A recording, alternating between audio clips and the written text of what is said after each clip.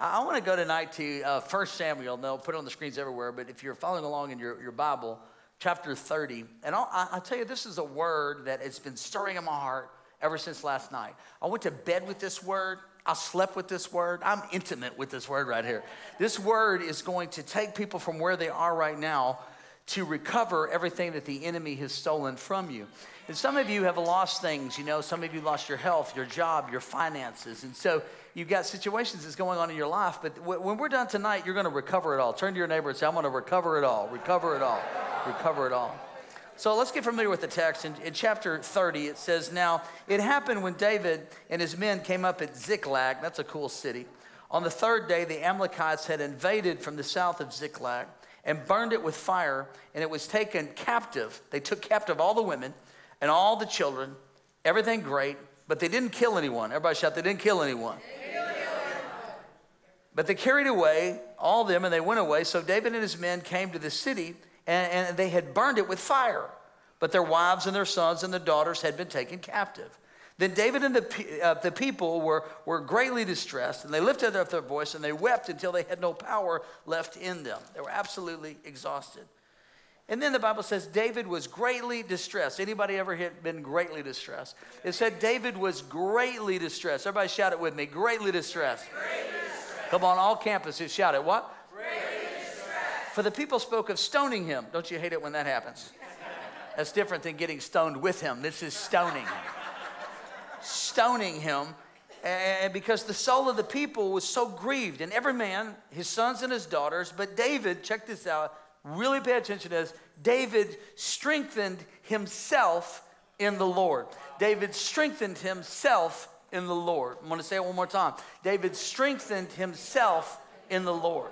Now, it's one thing to be excited about what's going on in, you know, through a, a, motivational speaker, you know, here in Palm Beach, Tony Robbins, personal power guy, he lives here. But uh, there's certain times in your life, and I'm not against motivational speakers, but there's certain times that you, you can't just get a motivational speaker to get you out of greatly distress. David needed to strengthen himself, not with a YouTube, not with a podcast. He said he strengthened himself in the Lord. There's some things that a motivational speaker can't do to you. You need the anointing, the yoke destroying power of the Holy Ghost to come in and break the power of the devil, but you got to do it by yourself. Somebody ought to say amen. You got to do it by yourself. And, and, and, so he strengthened himself when he was in adversity. Now, there are times in life where you cycle. There are cycles and seasons. In St. Louis, they're in a winter season, and that would be why I'm down here with y'all. they're in a season of cold. They're in a season of snow, but spring is on the way. Thank God for spring being on the way for those people. Aren't you glad that those people 1,100 miles tonight got warmth? Holy Ghost bless them. But they're in a season. There, there's winter, spring, summer, and fall. There are seasons, they're just periods of time. And you might be in a season tonight here, Sunset Hills, Weldon, around the world, and you're in a season of discouragement. And so, what do you do in a time of discouragement? You got two options. One, you can agree with the devil and the demonic people in your life who have said you're never going to make it. I told you you wasn't going to make it. I told you there's no way that's just going to turn around for you. And you got to say no to them and yes to him and say, I'm going to keep myself. Come on. And that's what he said. I know the Lord has kept me. Oh, yes, He will. Oh, yes, He will. I know the Lord has kept me. Oh, yes, He will. Oh,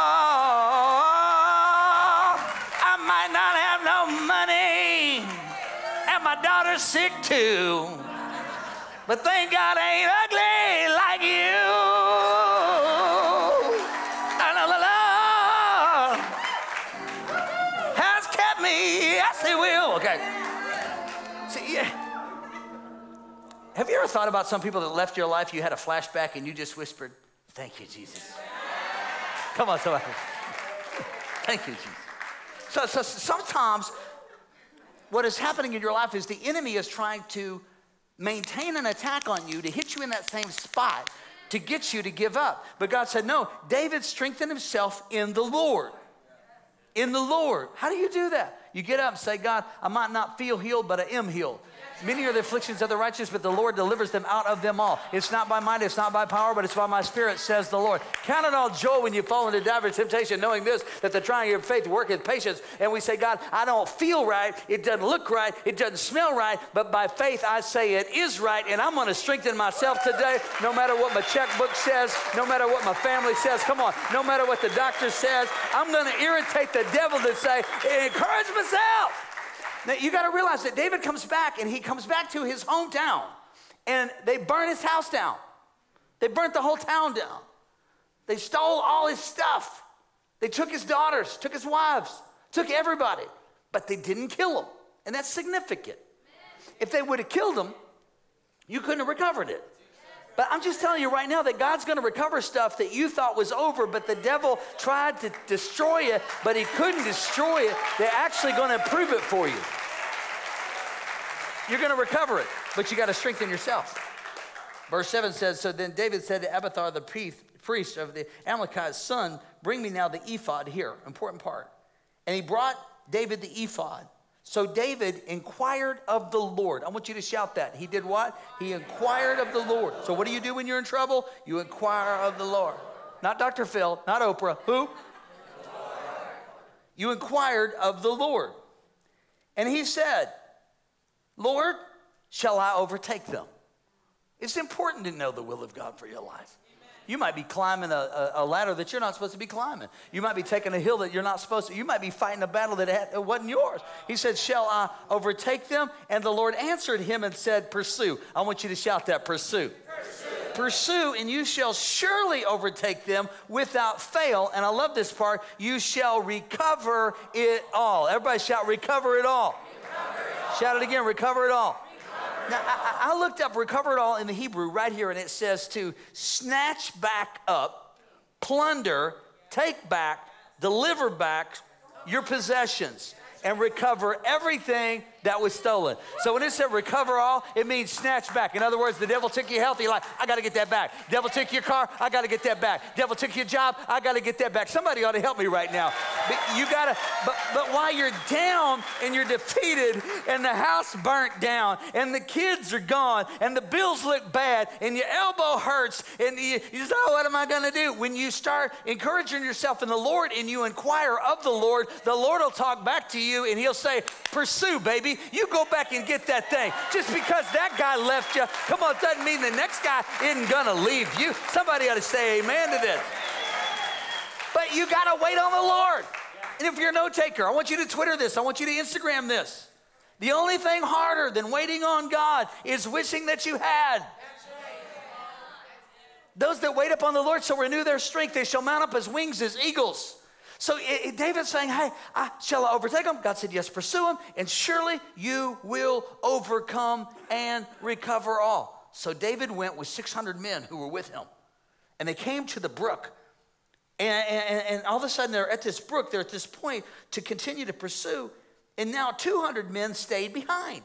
They said, We're weary so you got to figure this out. David's saying, Hey, I'm encouraging myself in the Lord, which not by might, it's not by power, it's by the Spirit of God. We're going back to Ziklag and we're taking our stuff back. I'm going back. They took my saddle. They did. They took my show saddle. They took the, the, all the bridles that we had. They had all the good stuff that we got, and they stole it. And we're going back. I'm going back to get my wife. I'm going back to get everything. So now there's 600 guys, and they're on the horses. Come on, somebody. And they're on the horses. They're right. Maybe I could get a drum.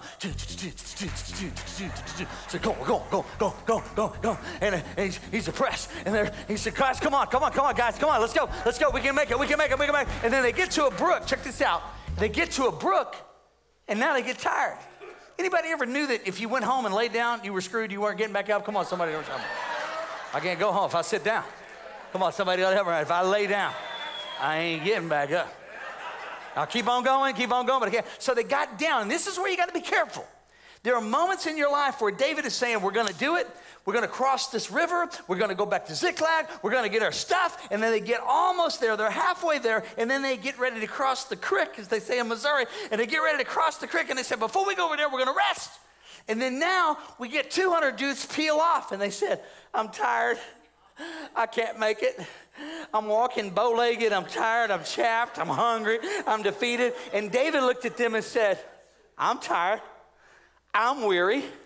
I'm exhausted, but I'm not going to be moved by what I feel. I'm going to encourage myself in the Lord again, and I got to go back and get it. If it was easy to be rich, skinny, tan, and healthy, everybody do it. But any old fish can die, float downstream, but it takes a live one to say, you know what? I'm going to pursue. I'm going to pursue my dream. I'm going to pursue my education. I'm going to pursue my breakthrough. I'm going to pursue everything that the devil is trying to take from me, and I'm going to recover it all. Come on, I'll give you 10 seconds to praise God. 10, 9, 8, 7, 6, 5, 4, 3, 2, 1. Somebody ought to praise. They're going crazy and saying, Oh, I know the Lord has kept me. Oh, yes, He will. Yeah. All right, you can sit down. You guys are good. Now, now they peel off 200 guys because they were weary. I don't care make it. I don't know what to do. Sometimes, let's talk about that in a minute. Let's talk about pity parties. Anybody ever had a pity party? Come on, raise your hand if you got a pity party. You know, a pity party is a, the lowest attended party of all parties. It ain't nobody but you and the devil in a pity party. My husband doesn't treat me right. I don't like my my wife doesn't treat me right. Oh God, I just can't believe she doesn't understand what kind of great husband I am. I clean and I cook. That's just so you don't get shot. Oh yeah. Ah, oh, God, just they need to appreciate me. Uh, and then some other dude's like, oh God, if you'd ever bless me with a wife, God, he that findeth a wife findeth a good thing and obtaineth favor from God. God, give me a wife. And this guy's like, God, I know I prayed that prayer, but would you take her, God? Just take her. She's insured, Lord. I got $2 million on this woman right now. So we get in a pity party. You got to be careful when you're on a pity party because the devil will get in there. I said the devil will get in there and he'll try to get you to not celebrate what you do have, thinking about what you should have. And another guy over here would love to have what you got, but you're too busy complaining and remaining instead of praising and raising. Somebody ought to help me right now. So you got to say, I'm going to encourage myself, and you got to separate yourself from the 200 dudes that ain't going because ain't everybody going to go. I know it's horrible grammar, but it's good theology. I know it's going to kill all the educated people, but just say, ain't everybody going to go? And if you like me, it's everybody. Come on, try it again, everybody. Everybody ain't gonna go. Come on, shout it again. All campuses. Everybody ain't gonna go. Because some people, it's not that they don't like you. Your spirit irritates their demons. Somebody ought to help me right now. So, what God is getting ready to do in your life, you're like, God's about to do it. And they're like, Don't you know that government is shut down? Don't you know that Donald Trump is trying to jack up the whole world? I say, Don't you know about the kingdom of God? Don't you know that we're not here in this world on our own assignment? We're on a divine assignment by God, and He will meet all of our needs. The government shut down and let God take over. Let him bring health and provision and supernatural opportunity to somebody they'll say, I'm taking it back. I'm taking it back. I'm not staying here by the creek with 200 people. That's mine.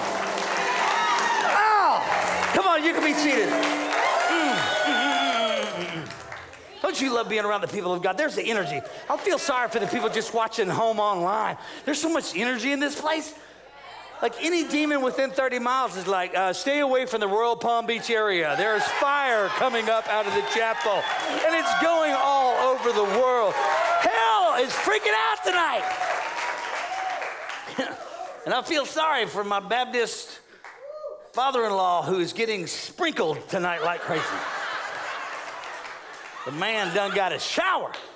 I spit a lot. I like to keep it wet. Come on, somebody. I just spit a lot. So we got 200 guys that peeled off. Check this out. Now, and at verse 17, let's jump to verse 17. Then David, he, he gets up with the people that he does have, doesn't gripe about the 200 guys that peeled off. Then David attacked them from twilight until evening the next day. That's a long day.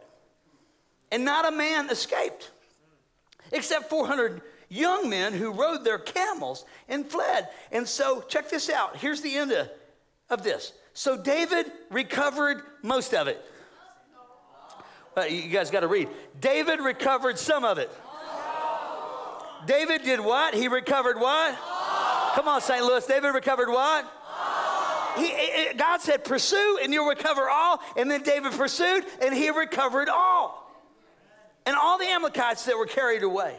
Then David rescued his two wives. Don't ask me why he's got two wives, because that's a whole other thing that they used to do back in the day that you shouldn't do anymore. Come on, somebody, because I, I have enough trouble taking care of one lady. You know what I'm talking about? Like, I can't, I don't even know how to deal with this one. How he dealt with two of these, I don't know. Mm-hmm. Get ready to preach on he said, she said. We'll get into that.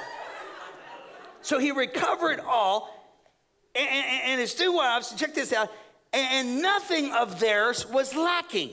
This coincides with Psalm 23. The Lord is my shepherd, I shall not lack. Come on, shout it. The Lord is my shepherd, I shall not lack. Come on, St. Louis, I can't hear you. The Lord is my shepherd, I shall not Tell that to the devil. The Lord is my shepherd, I shall not lack. The devil is a liar. Turn to your neighbor and say, The devil's a liar, the devil's a liar, the devil's a liar. Uh huh, uh huh, uh huh. Lacking nothing, small or great, sons or daughters, spoil or anything which they had taken from them, and David recovered all. And then David took all the flocks. In other words, you got to picture this. He comes back and there's all his stuff. And he's like, That's mine, that's mine, that's mine, that's mine. Those two girls over there, those are my wives. Those children's over there, those are my kids right now. That's my baby right now, my baby and mama right there, and that's my other baby and mama. And he recovered it all. Then after he recovers it all, he takes all his stuff and said, Nothing small or large. In other words, he said, That's my Apple Watch. That's my flat screen. And then it says, then he went and recovered all of the animals. In other words, now he's recovering stuff that's not his. Because the enemy got so whipped and they got so defeated that they actually left running and they couldn't take their camels, they couldn't take their horses, they couldn't take their stuff. And that was the Bible saying the wealth of the sinner is laid up for the just. In other words, when the devil attacks you, he, God, will not allow him to destroy your stuff. And not only will you get your stuff back, you will get the stuff back that did not belong to you. Somebody ought to help me right now because the wealth of the sinner is laid up for the just. Come on, somebody ought to help me. So now he gets it all. Now, I really want to park here just for a moment. Our city campus, $21 million building that we got for 6.3 million. That's a whole bunch of millions that the devil lost. Oh, we have people in our house. I was talking to a guy the other day, a couple days ago, and they're buying a house, and the guy, this is a big house, a really nice house. But the guy who before him had lost a lot of money on the house, like loads and loads and loads and lots of money. And these godly people came in and they get to reap all the money that the other person had invested because God is all about the wealth of the sinners laid up for the just or the righteous. Now, what's righteous? We break the word down right. You are the righteousness of God in Christ. It's not because of anything that we do, but it's because of us receiving the grace of God that He has done. And that's one of the things that encourages us. We can encourage ourselves in a pity party and say, I'm not going to do that because I am not what I did. I am what I do. What do I do? On a Tuesday night, I go to church. I'm 15 days into the brand new year. Somebody ought to help me. It's 15 days into this brand new year. I'm going to let the devil know that I'm coming back for my stuff. And you mean it. And you can do that in the Spirit. I have a friend, and her name is Darlene Bishop. And, and Darlene Bishop is a phenomenal preacher and communicator. And her husband, who recently went on to be with the Lord, um, he was just an incredible uh, man, business guy. And he, he, he sold horses, like expensive horses, like million dollar horses, the kind they sell out at Wellington. And um, there was a there was a stall guy that was stealing somebody a, a stall mate a guy that was cleaning out the stalls. He was stealing from lawrence bishop and lawrence really didn't notice it at first because sometimes you got so much stuff you don't notice that it's gone. But then he went and thought where's that that saddle i paid $5000 for? Where's that $2000 show bridle? And he's looking he's thinking man did i misplace that? And then the next thing he knows is he starts figuring out man this is just for real. And then he's praying in the morning and the holy spirit speaks to him and tells him that it's one of those guys stealing his stuff. So he said, Hey, darling, get in the truck. So she, he got in the truck with her, and they drove over to this guy's little trailer, and he had his own little barn, and he went into the barn without the guy knowing it. True story. And Lawrence Bishop walked into the barn, and he looked and said, "That's my saddle. That's my bridle. That's my tax box. Eh, Tack box." He had all this stuff lined out that was his, and he's you know, Darlene was in the truck. True story. Darlene is in the truck and he comes out of that place mad. He throws his saddle in, he throws his bridle in, he goes again, he throws more saddles in, more bridles in, and eventually the whole truck's loaded. He goes back and he's putting stuff in. She said, Lawrence, Bishop, that can't possibly be all your stuff. And he said, I don't think all of it's my stuff, but I'm taking stuff that might be other people's stuff. Somebody ought to help me right now.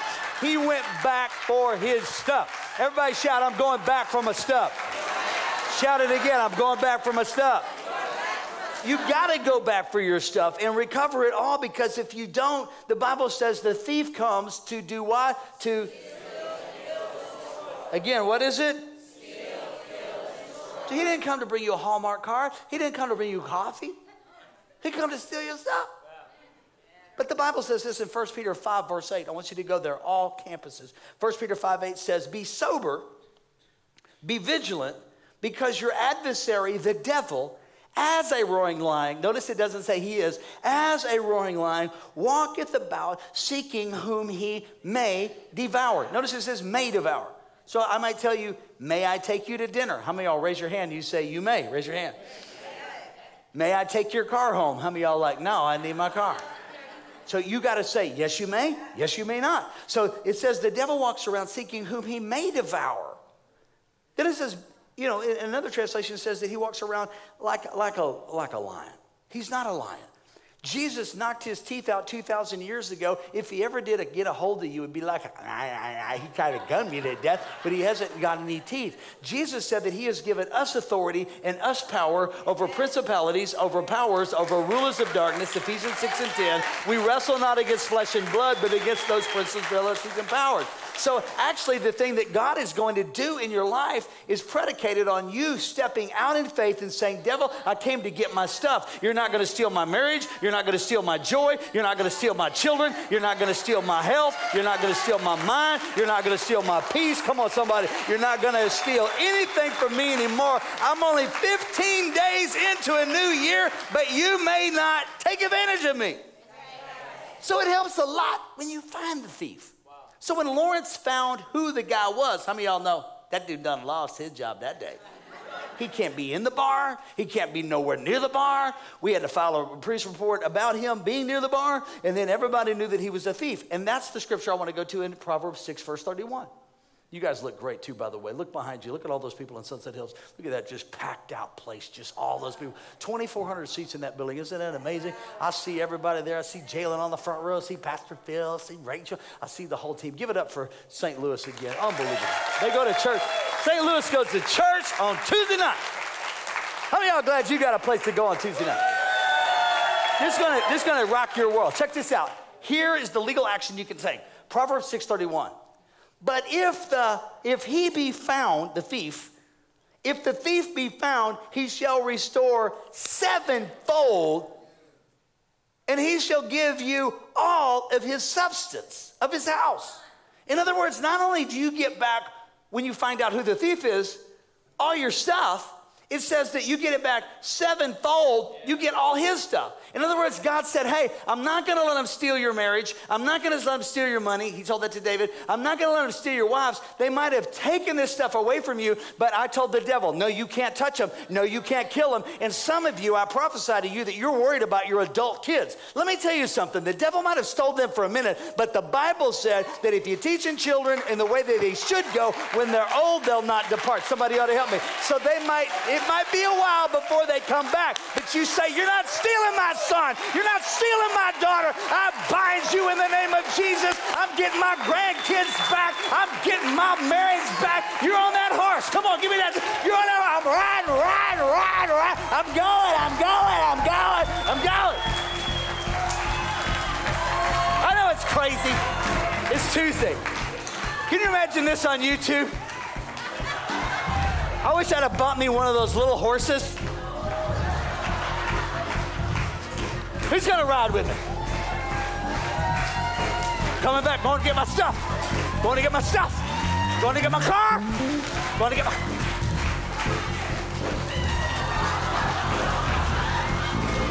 Ow! Only on a Tuesday. I won't do that on a Sunday. That's a wild horse, man. That horse is rough. That horse wasn't gaited either. You know, I gate a horse smooth. That horse is a quarter horse. I almost died one time on a quarter horse. Fell off of it. Foot got caught in the stirrup. It's dragging me. Nicole came over and unplugged it right outside of Walmart.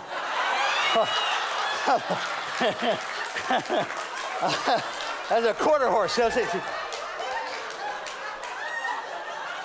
You know? uh, had to get him laughing to get my breath back. That horse, I'm running that horse. Proverbs, let's look at it again, 631. But if he be found, I got to give you a minute. If he be found, how many, he got to pay it back how many times? How many times? How many times? Mm-hmm. Seven times. So that kind of knowledge gives you power. When you get knowledge, it changes everything. That's why the Bible said, My people perish for a lack of knowledge. My people perish for a lack of what? Knowledge. You're on a Tuesday night, you're getting information, you're getting knowledge, you're getting power, and you're letting the devil know. Devil, no, not today. No, no, no, no, no. Because I know who I am. You get it back. Because it's one thing to have money, and it's one thing to have peace and money. But if I had to pick between money or peace, I'd always pick peace. Good news is, the Bible said that with blessing comes persecution. So there is trials, but it said that uh, the, the, the, the, blessing of the upright was a peaceful thing. So I, I want you to just go with the mindset in those first 15 days of the brand new year to say, hang on a minute. The devil's already trying the same junk and funk on me that he did last year. And you know what? I might have already fallen off the wagon, fallen off the horse.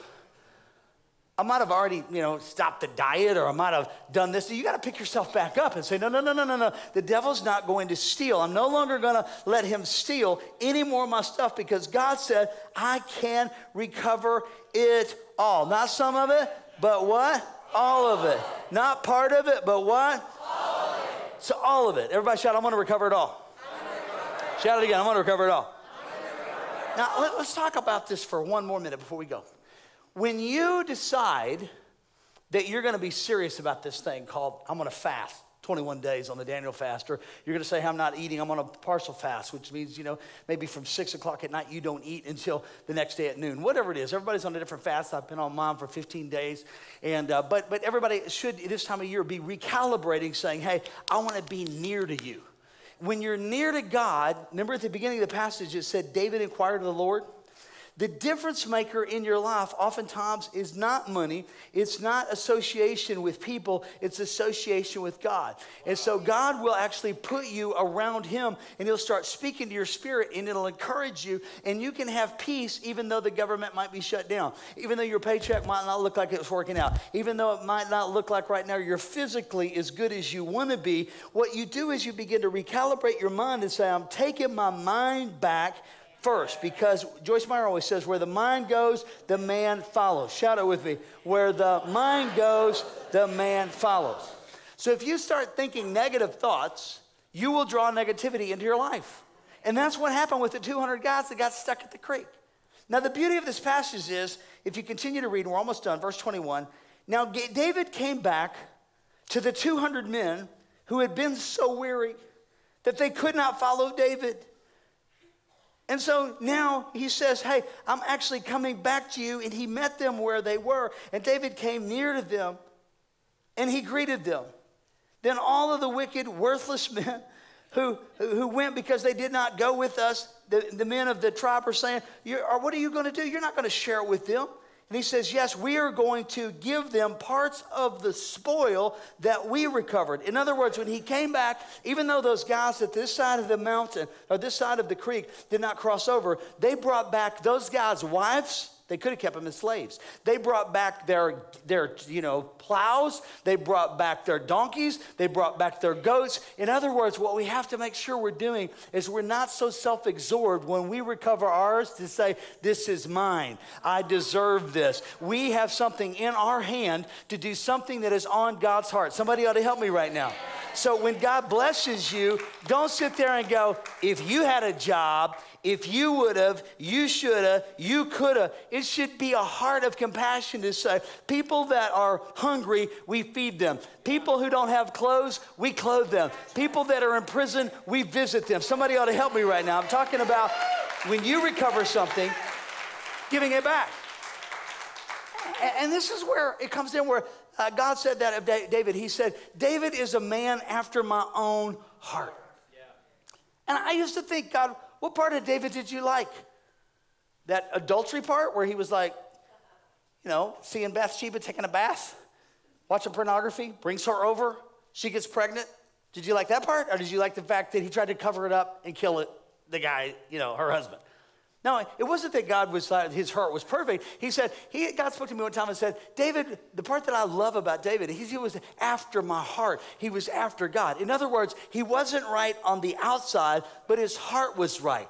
And so, this is the beauty of us here at Faith Church today and all our campuses. You might not be right, you might not feel right, but if your heart is right towards God, you're coming to church on a Tuesday night, you're going through Growth Track, you're in a small group, Weldon Springs is watching online. If you're in this community of believers, what you're doing is you're after God. And when you're after God, God speaks into your ear and says, Pursue, buy our city. Pursue. Let's take over Ferguson Florissant campus on the 27th. Somebody ought to help me right now. He told us to pursue Palm Beach County, and we went to a high school where we didn't know anybody, and we started a church. And then God gave us this incredible studio and chapel here free of charge. Somebody ought to say amen. Somebody bought it for us. I'm preaching tonight on the stage where we just kept going.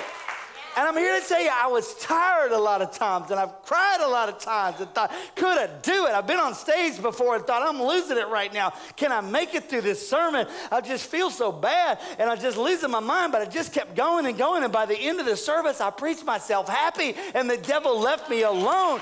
Come on, somebody ought to help me. It's not easy. But you know, here, oh, I want you to hear this. I, I, don't want you to be the person sitting at the creek, though, right. crying. Because, you know, it's really cool to have the story. Those other guys all came back. Honey, got my wife, you know. He's like, you got all these guys that are like buffed up, ripped up, tough guys, and they go recover everybody, and they're like, where's my husband? Well, he's back at the campfire. How many y'all know you bring your wife back? She like, boy, you couldn't cross that creek for me? Come on, somebody ought to help me right now. What happened? Uh, I'll catch a grenade for you. I'll step on a blade for you. Huh? Huh? You were singing, my girl. No, no, no, ain't about that. You, but what I'm saying is, is that be a man of God, be a woman of God, and pull yourself up by your bootstraps again and say, I'm going to recover it back. I'm not going to sit at the creek and cry. I'm going to overcome. This stroke isn't taking me down. Come on, somebody. This blurred vision isn't taking me out. This knee replacement isn't going to stop me. You can't stop a man or a woman of God who says, God said, pursue, I will pursue. Somebody ought to praise God for about 10 seconds. Hey! Oh! You remember this song? Oh, I went to the enemy's camp and I took back what it stole from me. Help me, Titus.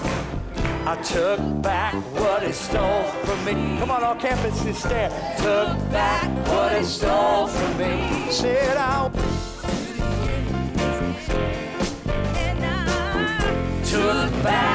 he stole from me. Where's he at? He's under my feet in this pit. He's under my feet. He's under my feet. He's under my feet. He's under my feet. He's under my feet. Satan is under my feet. Come on, sing it, Salem. Well, I went to the enemy's camp. Not fast. And I took back what he stole from me. Said I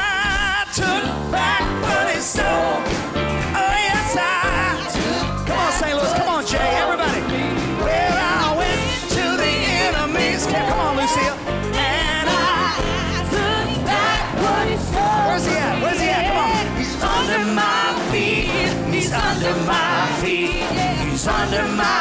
feet. He's under my feet. He's under my feet. He's under my feet. He's under my feet. Under I went to the enemy's camp. I went to the enemy's camp. Come on, Tom. And I took back what he Come on, St. stole Louis. from Come on, you at me. home. Come on. I took back what he stole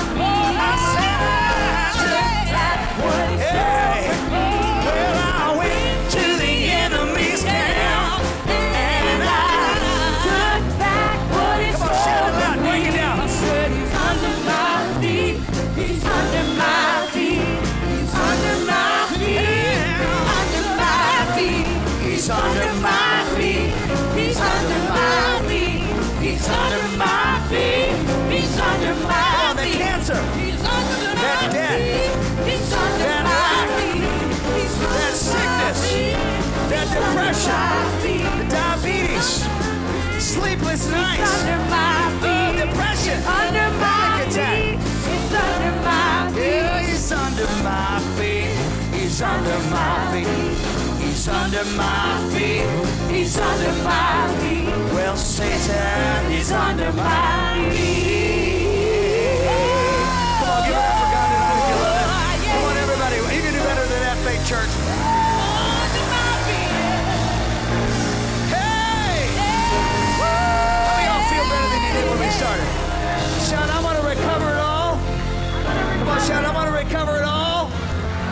I'm getting my mind back, my money back, my marriage back, my ministry back, my joy back, my peace back, my kids back, my house back, my car back, happiness back, understanding back, divine flow back, supernatural opportunity back,